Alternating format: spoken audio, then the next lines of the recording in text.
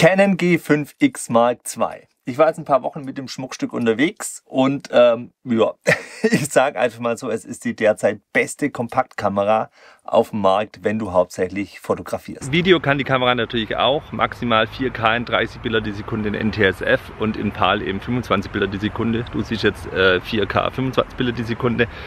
Mikrofoneingang hat sie keinen, deshalb hörst du jetzt gerade den internen Ton. Was will man machen, aber ich finde das gar nicht so schlecht. In Full HD schafft sie 120 Bilder die Sekunde in NTSF und eben 100 Bilder in PAL. Nachteil in der Zeitlupe, du hast keinen Ton und auch keinen Autofokus. Willst du das haben, musst du in 60 Bilder die Sekunde in Full HD filmen. Aber generell ist der Autofokus eh nicht so toll. Ähm, ja, wenn ich jetzt einfach mal wegfilme, dann dauert es ziemlich lang, bis sie sich darauf einstellt, also ziemlich träge. Kennt man von der G7X Mark III schon. Und wenn ich zurück zu mir filme, Jetzt hat sie mich gar nicht eingeloggt, die Gesichtserkennung, muss ich mal gucken. Und ich weiß auch nicht, ob ich scharf bin, das sieht man so schlecht auf dem kleinen Display. Deshalb empfehle ich eigentlich echt immer manuell zu fokussieren. Das geht dank Focus Peaking ja ganz gut. Jetzt hat er mich erkannt und ich müsste jetzt eigentlich auch wieder scharf sein. Aber es ist immer ein bisschen Glücksspiel. Deshalb, wie gesagt, manuell fokussieren. Anderer Nachteil in 4K, die Kamera überhitzt sehr schnell. Ich habe es nicht mehr genau im Kopf, ich glaube 12, 13 Minuten schafft sie unter optimalen Bedingungen, wenn sie einfach nur dasteht und äh, nichts stabilisieren muss und sonst nichts rechnen muss. Na gut, aber ich habe es ja schon gesagt, das ist primär eine Fotokamera. Genau, primär eine Fotokamera, deshalb möchte ich auch gar nicht mehr viel zu Videos sagen. Aber eine Sache noch, das heißt NTSC, nicht NTSF. Keine Ahnung, was mich da geritten hat. Abkürzung für Never the Same Color. Umstellen tut man das unter Setup 3 Videosystem für NTSC und für PAL. Natürlich kann die Kamera noch ein paar anderen Videoschnickschnack. Zu erwähnen wäre vielleicht der Sternzeitraffer. Den gibt es in verschiedenen Stufen. Und es gibt auch einen Modus einen ganz normalen Zeitraffer. Die Sache mit dem Fokus hast du gerade ja im Video schon gesehen. Also mein Gesicht war nicht so immer richtig gut fokussiert. Bei Einzelbildern ist das auch nicht so schlimm. Bei Serienbild ist ein bisschen doof, weil der Nachführ-Autofokus heißt Servo bei Canon nicht funktioniert, wenn du Gesichtserkennung und Verfolgung anhast, sondern nur bei Spot AF oder Einzelfeld AF das Nachführen des Fokuses funktioniert dann auch ganz gut, aber wenn du jetzt, was weiß ich, deine Kinder beim Fußball oder so tracken möchtest und eben den Fokus nachführen möchtest, dann funktioniert es eben nicht, außer du bleibst eben die ganze Zeit im Fokusfeld drin, weil das Fokusfeld eben nicht die Kinder verfolgen kann. Aber generell für so normale Urlaubssituationen, wo ja so eine Kamera eigentlich dafür gedacht ist, reicht der Autofokus vollkommen aus für Fotos und bei Videos eben manuell fokussieren. Zum manuell fokussieren vielleicht noch eine Sache.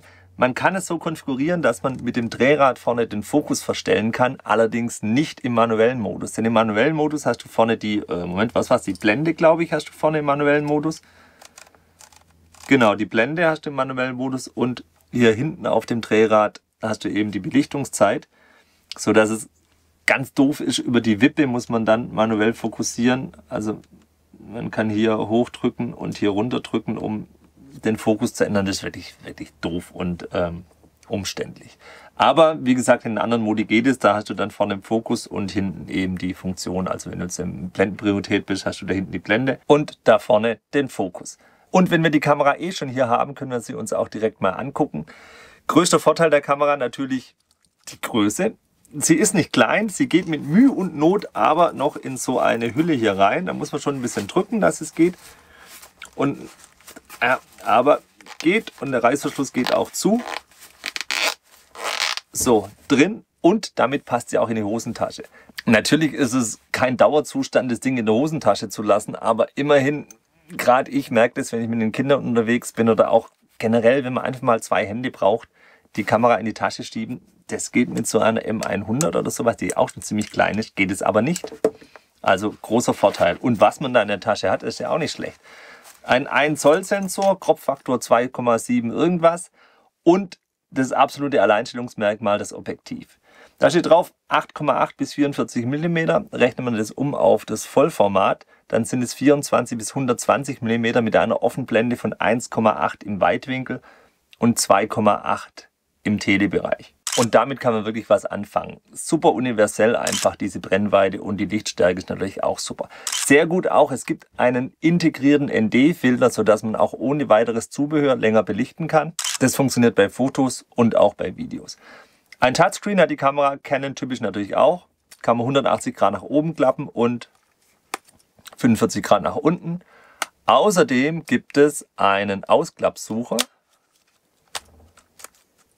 und dazu Touch and Track AF. Das heißt, wenn man durch den Sucher guckt, oder ich muss mit dem Auge gucken, das ist ein bisschen doof, weil ich ein Linksauge bin, dann kann ich mit dem Finger auf dem Display den Fokuspunkt verschieben. Das ist absolut super. Dann haben wir da oben noch einen Ausschalter, Zoomhebel, Auslöser, Moduswahlrad. Leider gibt es keinen FV-Modus, die flexible Automatik, die fehlt hier. Falls ihr wissen wollt, ich habe da mal ein ganzes äh, Video dazu gemacht.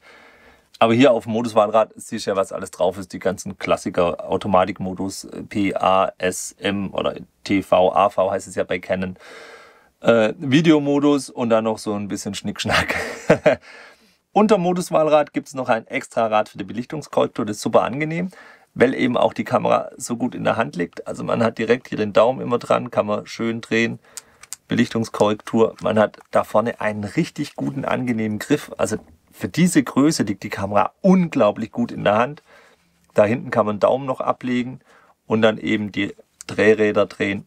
Hinten haben wir auch noch ein Drehrad und eben vier Knöpfe und um das Drehrad herum gibt es auch noch Knöpfe und mittendrin eben ein Knopf, um das Q-Menü aufzurufen. Dann haben wir auf der Seite noch einen Knopf, um die Wireless-Funktion zu aktivieren. Wir haben einen USB-C-Anschluss damit kann man die Kamera auch laden und betreiben. Man braucht allerdings ein Ladegerät oder eine Powerbank, die Power Delivery unterstützt. Auch dazu habe ich schon ein Video gemacht, kannst du da oben nachgucken. Einen HDMI-Ausgang haben wir auch noch. Und auf der anderen Seite gibt es hier keine Anschlüsse, weil eben hier der Schalter für den ähm, Sucher ist. Vorne haben wir das Drehrad ums Objektiv, habe ich auch schon vorhin gezeigt. Und unten haben wir natürlich noch einmal ein Stativgewinde, Akku und Speicherkarte. Alles in allem also eine gute Kamera, die sich hochwertig anfühlt, die gut in der Hand liegt und die sich gut bedienen lässt. Einzig vielleicht da vorne der Objektivring. Erstens klickt er, das lässt sich nicht ausschalten und zweitens finde ich, dass er ein bisschen billiger wirkt als der Rest des Gehäuses. Generell ist es so mit Gummi überzogen, komplett rundrum, was den guten Grip unterstützt. Leider hat die Kamera aber auch das Wasserwagenproblem wie alle anderen neuen Kameras. Die Wasserwaage geht nicht, wenn du Gesichtserkennung und Verfolgung anhast. Sie geht auch nicht im Panoramamodus, weshalb ich ständig schiefe Panoramas mache. Immerhin hat die einen Panoramamodus, das gab es eine Zeit lang. Bei Canon auch nicht. Aber trotzdem, es ist doof. Du hast die Wasserwaage an und sobald du den Auslöser drückst, geht sie aus. Genauso beim Film geht die Wasserwaage auch aus, sodass man eben gucken muss, dass man sich irgendwo anders orientiert. Weitere interessante Features, die die Kamera hat, wäre Focus Bracketing. Natürlich gibt es auch ein Exposure Bracketing. Dann gibt es auch hier den RAW Burst Modus, wo du bis zu 30 Bilder die Sekunde schießen kannst. In RAW tatsächlich. Das kannst du sogar so einstellen, dass du eine halbe Sekunde Vorlauf hast, dass du also wirklich genau den Moment abpassen kannst, den du eben fotografieren willst. Auch gut ist die Steuerung der ISO-Automatik. Da kannst du Tendenzen angeben, ob eher die Belichtungszeit verlängert werden soll oder die ISO-Empfindlichkeit erhöht werden soll. Oder du kannst sogar fix eine Belichtungszeit einstellen, die nicht überschritten werden darf. Sehr gut gelöst, ganz einfach und wirklich oft nützlich. Schnickschnack habe ich schon gesagt, erwähnenswert wäre vielleicht handgehalten bei Nacht. Das ist ja eine Kompaktkamera, da geht es ja darum, mit möglichst wenig Gepäck unterwegs zu sein. Funktioniert auch sehr gut, dieser Modus. Aber natürlich kann man auch mit Stativ arbeiten. Ich habe manchmal so einen kleinen Gorilla-Pod dabei. Der macht das Gepäck zwar schon deutlich größer als die Kamera alleine, aber es ist immer noch äh, machbar, sage ich mal. Ähm, ja, alles in allem, was soll ich sagen? Canon hat wirklich vieles richtig gemacht bei der Kamera. Gerade das Objektiv mit dieser Lichtstärke finde ich einfach genial, weil man es schön freistellen kann in jeder Brennweite. Man ist universell unterwegs mit der Brennweite. Du siehst ja hier einmal 24 mm und einmal die 120 mm jetzt äquivalent zum Kleinbildformat. Also damit kann man schon was anfangen. Was mich ein bisschen stört, ist, dass sich das Q-Menü nicht konfigurieren lässt. Gilt aber irgendwie für alle neuen Canon-Kameras. Und aktuell kostet das Ding über 900 Euro. Das ist schon ganz schön viel. Okay, es ist eigentlich konkurrenzlos mit diesem Objektiv. Es gibt nichts, was da mithalten kann. Die G7X Mark II oder die G7X Mark III hat weniger Brennweite und auch nicht so viel Schärfe wie die hier im äh, Weitwinkel. Ein bisschen kleiner, hat aber keinen Sucher. Also ich habe es ja schon gesagt, wenn es um Fotografieren geht, würde ich die G5X Mark II empfehlen, weil es einfach äh, für mich tatsächlich die beste Kompaktkamera ist, die es momentan auf dem Markt gibt. Sony hätte die RX103, könnte man vergleichen, die wäre deutlich billiger, hätten Sucher, hat aber nur 24 bis 70 mm, aber dann eben auch 1,8 bis 2,8 Brennweite. Und die RX106 und 7 haben keinen ND-Filter, haben weniger Lichtstärke, dafür ein bisschen mehr Brennweite und sind eigentlich nicht günstiger, sondern teurer. Also zum Fotografieren finde ich deshalb immer noch die hier besser. Ja, ich empfehle sie für Fotografen, allerdings nur dann, wenn es die einzige Kamera ist. Ich würde sie jetzt nicht zu einer großen ähm, spiegellosen Kamera, also oder auch, was weiß ich, zu einer M100, da ist sie einfach zu teuer. Da würde ich lieber ein Smartphone nehmen und dann in den sauren Apfel beißen und die größere Kamera mitnehmen, wenn sie gebraucht wird. Aber wenn es für dich die einzige Kamera sein soll, und ich weiß, es gibt viele Menschen da draußen, die wirklich gerade im Urlaub, wenn sie unterwegs sind und so einfach schöne Bilder machen wollen und nicht viel schleppen wollen, kein Objektiv wechseln wollen, da ist die Kamera wirklich, wirklich gut und empfehlenswert. Ich bin gespannt, wie du das siehst. Kommentier unten drunter mal, wäre die G5X Mark II was für dich oder nicht und für welchen Einsatz vor allem. Ich habe auch eine komplette Playliste zur G5X. Da sind auch noch ein paar zur alten G5X drin.